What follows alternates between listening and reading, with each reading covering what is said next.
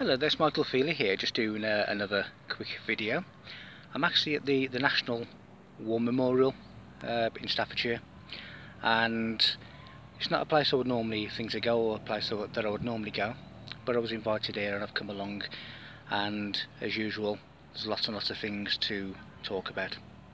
So really I don't, I'm not doing this video to degrade the things that our heroes have done some of these people who have died for us have actually seen things that the rest of us, you and I, could only ever have nightmares about. So I'm certainly not degrading what they've done. I'm certainly not trying to tarnish their memory. What I'm talking about is really why there is a memory. And there's a memory because somewhere, someone somewhere with a political agenda has sent them into fight. Now I've not been here before, I don't know what's here. But the one thing I can guarantee is not here are the people who sent them to war. The Bush, the Blairs, all of those people that send our children to die, send their children to, to Yale and to Eton to become the future selected prime ministers and selected presidents. They will not be here because of course they're always in safety when they send our loved ones to die. So what I'm going to do today, I'm just going to go into the main memorial itself and I'm just going to just point out just a few bits uh, that are in there. Now on the way here I've walked past pyramids, pentagrams, the Star of David, many many small obelisks and lots and lots of other symbols that literally again I could spend the day recording and going into. But what I'm going to do now, just going to take you into the main area which you can see there you can see a big gigantic obelisk inside an oval arena. Now of course the obelisk at one level is the phallus of Osiris which obviously the Egyptian god of the underworld which has relevance because this is a place of memorial. The oval is the yoni but looking at that deeper you have the oval which is the holy grail which is the container of knowledge. And you have the obelisk the pineal gland, which is Osiris, open eye, but it also relates to the penis of the mind. So again, we have a lot of consciousness. Now, when I've looked at all of these ancient sites, whether it be Stonehenge, whether it be the pyramids, whether it be religions, their origin, their foundation, although it's hidden, is all about the self, all about the transmutation of the self, and it's all about enlightenment. So we're just going to go now and just have a look what we can see. Uh, as I say, this obelisk is probably about 60-70 feet tall, but we'll just go and take a better look at that. Here behind me you can see lots and lots of names of unfortunate ones that have passed away. When you look at the word war, it's really slavery. It is really service. But the whole of humanity are slaves. Every aspect of our life is monitors. We're told what we can do, what we can't do.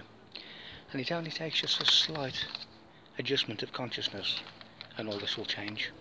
So people don't need to die over futile battles and wars that are caused by people in suits who we never see. Here behind me we can see, know if you can see it on the camera, but there's lots and lots of reefs on the floor. Well, a reef really means to cast a spell, to tie into a spell. So it's all to do with black magic. Now, when we see the likes of the Queen at the cenotaph, the cenotaph really is all to do with Osirian mysteries, Osiris.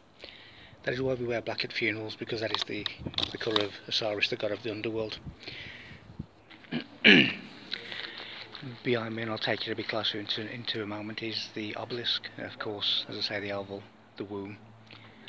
Between the two, there's always a, a connection between sexual ritual and death, between eroticism and death, because we enter this world through the act of sex, and we leave this world through death. So, the sexual act and death is part of the same continual line. Well, it says on there, they died serving their country. well actually they didn't. They died to serve a political agenda. So self-sacrifice is really the elimination of the lower self.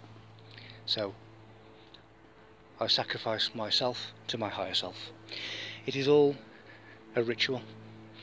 It is a ritual that the powers that be understand. As I said previously if you look into the distance there you can see I think you can see on the camera there's a pentagram and a pyramid you know so why is there so much Egyptian symbology at a memorial site for war? Well because Egypt was all about the afterlife and the sacrifice of, of the lower self to the higher self to basically resurrect and rebirth themselves. So when we see the obelisk and the oval it is the beginning it is a new birth but as I said people don't need to die. People don't need to sacrifice themselves for leaders that are hundreds and thousands of miles away from the activity. As I say, I came here today not to tarnish anyone's memory, but what, I, what I'm saying is there's a memory because people made the decision to send them to die. And it only takes, as I say, that, that slight adjustment of consciousness for us to stop this futility of killing each other. It really is that simple. So when leaders are telling us to go and fight, we say no. Thank you very much for watching. Please subscribe to my channel, hit the bell so you can see further videos, and also take a look at my website, michael-feeley.com. Thank you again, and take care.